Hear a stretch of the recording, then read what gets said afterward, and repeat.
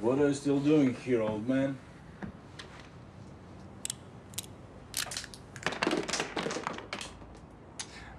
I'm gonna you up.